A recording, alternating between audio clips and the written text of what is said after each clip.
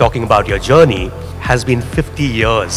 That is the last batch that was producing films in black and white. My first film was in black and white. Hmm. My second film is in color. From the same director, Rajamouli would be Bahubali 1, 2, and then RRR, which is genuinely a global film. What is the heroism? Hero means having a biggest collection? No. My definition is even if the hero gives a flop, a minimum collections are there, he is the hero. Join the OTT business.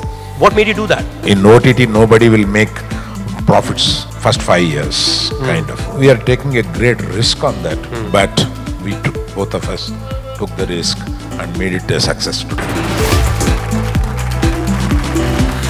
Someone, you know, whether it's a power star, whether it's a mega star. Firstly, how do these names come about? Who coins these names every time for the new actor? What do you make of remakes? Remakes are going to die.